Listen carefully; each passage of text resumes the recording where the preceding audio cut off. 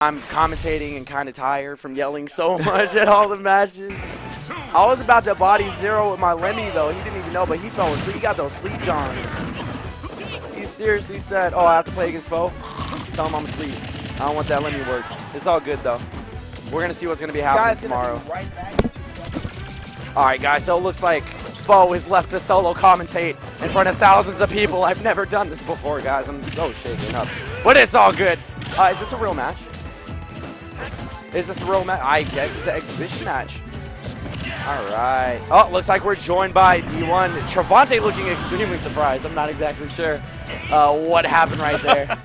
but uh, the, the many faces of awe from Trevonte. Just many faces. Yeah, Monkey's actually considered one of the better uh, Little Macs. Little Mac. Not the best. It's the best Little Little Mac. Mac in, on the West Coast, I yes, believe, actually. on the West Coast. Yep. Yeah, so you guys want to see a Little Mac. Here you go right here. Looks like Oh! he's going with the jab. Guys, that was 32 damage. 32% One move. From jabs alone. One move. Oh, my God. One move, one man, Holy one glove. Yeah, I'm not going to lie. Trevonte looking mad buff for this match right now. He's trying to rival the, uh, the toneness of Little Mac IRL. He ain't being intimidated by nothing. Wow, that was a really great They're, anti-air. they're completely even. Yeah, 57, 57, 57, tight battle. Two stocks, but that jab is really putting in so much work right now. Sending Fox in the air.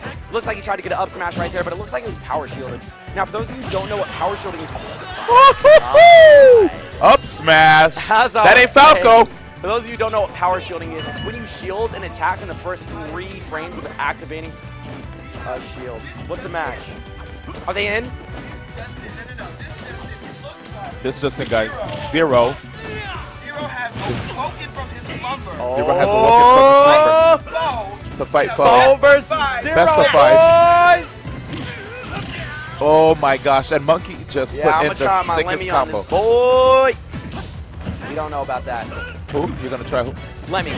Oh, Bowser. Jr. If, if I get bodied as Lemmy, I'm gonna try a duck hunt dog. Duck hunt dodge. And right here, you see basically Trevonte trying to use the strategy that you should use against a Little Mac on the stage, which is to retreat to the platforms. Oh, and just when I say that, he Oh, goes back to the ground. Yeah, he's Monkey's actually a little bit more aggressive with Little Mac. Usually, Oh, wow. Then he gets hit by an uppercut though. Best Little Mac on the West oh Coast. my goodness. Nice work, Max. You got it all figured out. I'm surprised. yeah, guys. Huh? I'm- I was surprised when he tried to go for the the down tilts into the KO punch. Somehow it whiffed. Did he DI out?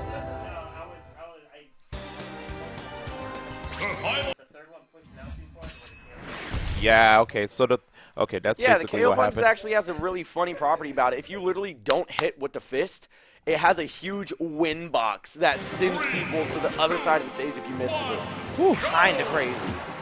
But yeah, for the most part with Little Mac, what you'll find your opponents doing, or Little Macs rather, is controlling the center of the stage. That's kind of what they want. It's kind of like an actual boxing match.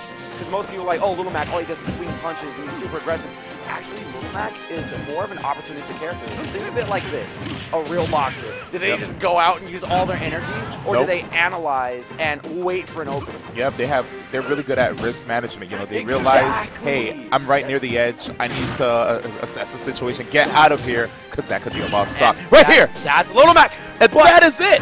But unfortunately, not everything goes as planned. Sometimes you do get caught off guard, and that unfortunately could end up uh, leading to a loss of a stock right there. But also a good. And did you see the smile on Oh Trevonte's face? It's so he, uh, uh, let me tell you He one thing, man. it. Exactly. That's it. when you know somebody actually did an insanely good read right, there. He's like, you know what? I'm not even mad at you. When you could just smile at that, just laugh it off and be like, wow, I got bumped right Yeah. there. I mean, that's a very respectable read right there. I mean, it happens to all of us. Happens to all of us. Ooh. Oh, Wow, the percents are actually very even right now, and it looks like Travante really keeping up that pressure. Nice forward uh, tilt. the Maxter right here. Very nice, safe up B. Uh, not getting punished by Little Mac's up smash right there, which wouldn't have killed but I mean, Little Mac's smash did a lot of percent.